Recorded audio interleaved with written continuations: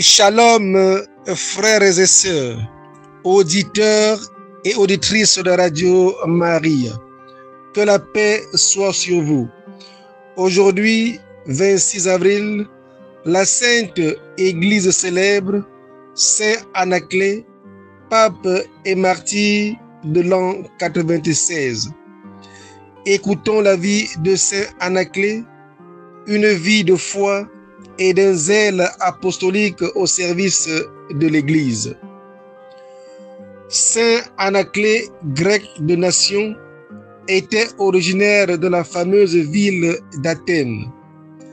Les bonnes qualités de cet adolescent frappèrent vivement Saint Pierre qui le convertit lorsqu'il prêcha à Athènes. Charmé de sa piété exemplaire, de son zèle pour la religion, de l'intégrité de ses mœurs et de ses rares talents dont le Seigneur l'avait doué, le vicaire du Christ admis Anaclet dans le clergé, le reçut diacre et le conféra à la dignité sacerdotale. Revêtu de ce caractère sacré, Saint Anaclet servit généreusement Saint Pierre dans les fonctions de son apostolat et devint le compagnon inséparable de ses travaux et de ses voyages. Ange par la pureté de sa vie et par son zèle indéfectible au service des dieux, Anaclet devint vite un des plus saints ministres de l'Église naissante. Après que Saint Pierre eut couronné son apostolat par un glorieux martyr, son fidèle disciple Anaclet se dévoua sous le pontificat de Saint Lin et de Saint Clair avec le même empressement et le même succès. Il coopéra pour une large part au merveilleux progrès que connut l'Église de Rome en ces temps si difficiles. L'excellence et la sainteté d'Anaclet devenaient de jour en jour plus manifestes aux yeux de tous lorsqu'en l'an 83, sous l'empire de Donatien, les voix des fidèles se réunirent à l'unanimité pour l'élire au souverain pontificat. Son élévation sur le trône de Saint-Pierre causa une joie universelle dans la chrétienté. Dans ces premiers jours de l'Église, tout était à craindre. La puissance, la cruauté et la multitude des ennemis du Sauveur, la fureur des païens, la rage des Juifs, la timidité et le relâchement des fidèles. Durant la troisième persécution que Trajan excita contre l'Église en l'an 107, Saint Anaclet constata avec douleur les ravages causés dans le troupeau de Jésus-Christ. Quoique Trajan n'avait porté aucune loi officielle contre les chrétiens, une guerre surnoise d'extermination sévissait contre les fidèles et surtout les évêques. Le sang des martyrs coulait avec abondance dans l'Orient et dans l'Occident.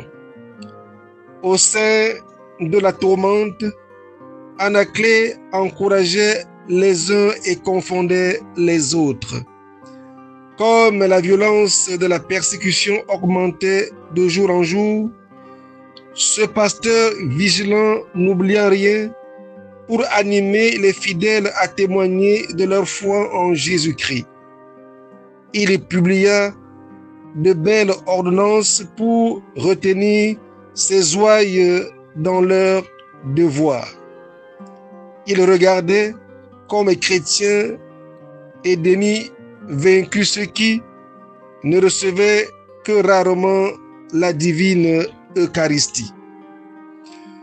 Pour donner quelques marques de sa dévotion et de sa reconnaissance au prince des apôtres auquel il était redevable de sa conversion, Saint Anaclée fit bâtir et orner une église de son sépulcre. Par une providence toute particulière, elle se conserva intacte au milieu des persécutions. Ce digne représentant de Jésus-Christ sut conserver intact le dépôt sacré de la foi.